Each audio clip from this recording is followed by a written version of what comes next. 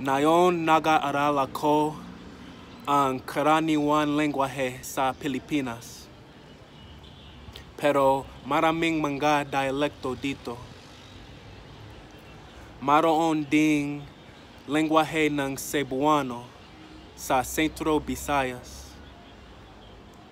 Ang wika Ilocano ng Luzon at Ilonggo sa Kanlurang, Visayas at Chavacano, isang dialekto ng Espanyol sa siyudad ng Zamboanga.